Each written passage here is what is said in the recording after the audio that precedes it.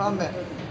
Ξεκινάω ευχαριστώντας τους ηρωικούς ανθρώπους του ΕΣΥ, γιατρούς, νοσηλευτές, λοιπό προσωπικό, τραπεζοκόμους, καθαρίστριες, διοικητικούς, ΕΚΑΒ εδώ στη Βόρεια Ελλάδα για την τεράστια προσπάθεια την οποία έχουν κάνει αυτές τις τελευταίες ώρες και μέρες.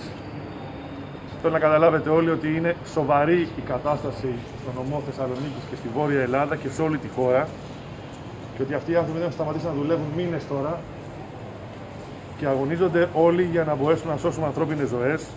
Και το βλέπετε αυτό καθημερινά, μια που καλύπτει το ρεπορτάζ στις εφημερίες στα νοσοκομεία της Θεσσαλονίκης και γενιά της Βορείου Ελλάδος. Αρκεί να αναφέρω ότι χθες μέχρι σήμερα, στην κατάληξη της εφημερίας, είχαμε 25 διασωληνώσεις σε μέχρι τη Βόρεια Ελλάδα. Καταλαβαίνετε, αν προσθέσετε τις επόμενες μέρες γιατί νούμερα μιλάμε και μόνο του το ΑΧΕΠΑ είχε 86 εισαγωγές στην εφημερία που τελείωσε σήμερα το πρωί. Είμαστε υποχρεωμένοι ως ε, ε, Υπουργείο Υγείας, ως οργανωμένη πολιτεία και κυβέρνηση και μετά τις εντολές του Πρωθυπουργού να στηρίξουμε περιττέρω το Εθνικό Σύστημα Υγείας στη Βόρεια Ελλάδα.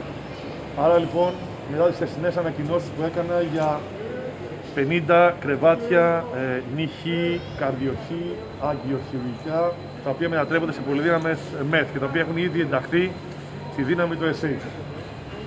Ο Γενικός Γραμματέας Υπηρεσιών Υγείας, ο κ. Κοτσιόπουλος, μαζί με τους δύο υπεράρχες, ο οποίος θέλω να ευχαριστήσω, τον κ. Μπογιατζίδη και τον κ. Τσαλικάκη και τον πρόεδρο του ΕΚΑΒ, δούλεψαν όλη τη νύχτα και εντάσσουμε σε επόμενες μέρες από σήμερα μέχρι την Κυριακή άλλα 50 τέτοια κρεβάτια ΜΕΘ σε όλη τη Βόρεια Ελλάδα.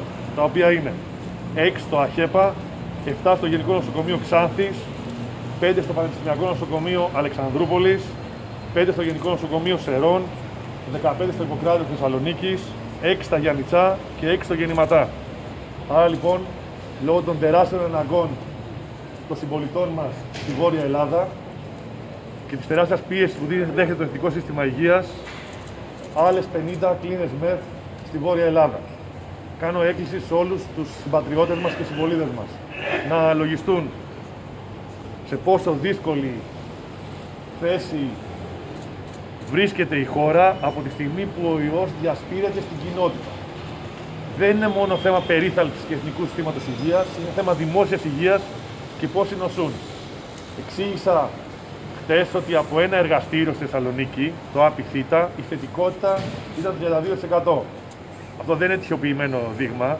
Αυτοί οι οποίοι πηγαίνουν σε ένα εργαστήριο ξέρουν κατά βάση πιθανότητα ότι είτε έχουν συμπτώματα είτε έχουν στο περιβάλλον τους κάποιος ο οποίος έχει κολλήσει. Δεν είναι σε όλες τις πηγές μέτρησης στη Βόρεια Ελλάδα αυτό το ποσοστό. Όμως τα στοιχεία από τα νοσοκομεία δείχνουν προφανώς το λόγο τα ληφθές.